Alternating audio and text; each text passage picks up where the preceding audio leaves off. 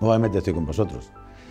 Esta vez estaba pensando cómo dirigir a vosotros y pienso que si tuvieseis a mano un libro que hemos editado en el Partido Popular sobre la Melilla del siglo XXI, la elocuencia urbanística de una ciudad mejor en estos 15 años, la Melilla del siglo XXI que, ha mejorado notablemente la que heredamos del siglo XX.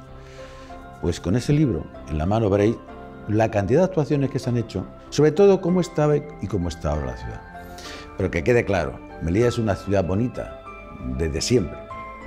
A mí me encanta. Yo muchas veces, a nivel nacional, siempre, siempre que lo digo, que para mí eh, Melilla, además, ya uno ha visto muchas cosas, que Melilla es quizás la ciudad más bonita de España.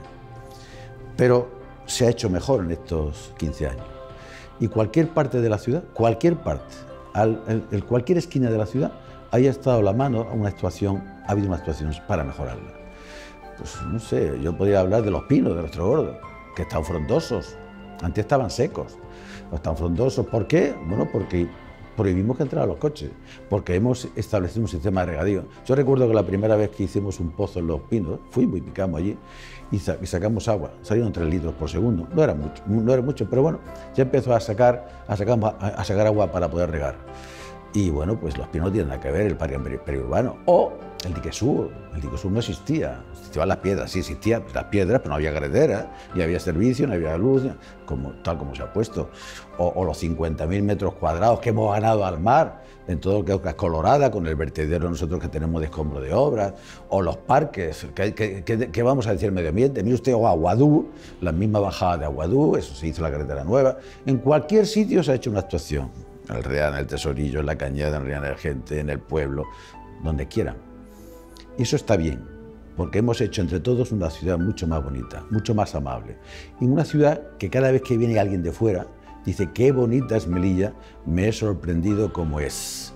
Y cada vez que venimos o que vienen algún familiar nuestro, amigo que llevan dos años, tres años, no voy a decir 15 años, dos, tres años y venir a Melilla y dicen, qué bonita, hay cosas nuevas, hay cosas nuevas. Bueno, pues hay que seguir creciendo. Hay que seguir creciendo. Hemos hecho, pero vamos a seguir creciendo. Y por eso yo cuento también contigo, para que me ayudes, para que sigamos creciendo. Gracias. La elaboración y puesta en marcha del Plan de Movilidad Urbana Sostenible es otra de las herramientas que nos permitirá seguir aumentando la calidad de vida de los melillenses y en los que el peatón se convierte en el verdadero protagonista. Melilla es grande y el compromiso de Juan José Imbroda y del Partido Popular es continuar en esta línea de estabilidad y progreso que lo hace posible. Partido Popular de Melilla. La política de las personas. Trabajar, hacer, crecer. Vota Partido Popular de Melilla.